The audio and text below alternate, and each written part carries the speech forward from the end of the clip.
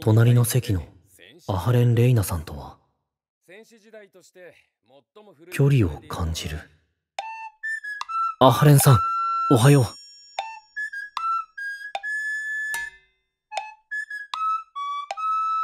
ここって校庭広いね。購買のパンうまいらしいよ。部活どうしようか悩むね。無視されてね何？え？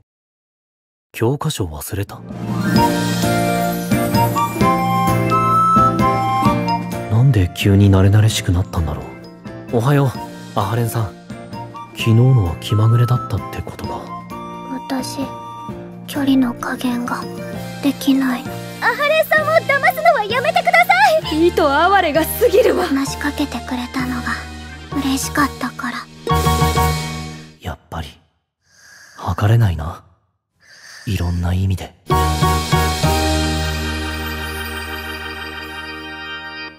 アハレンさんは測れない。2022年4月放送開始。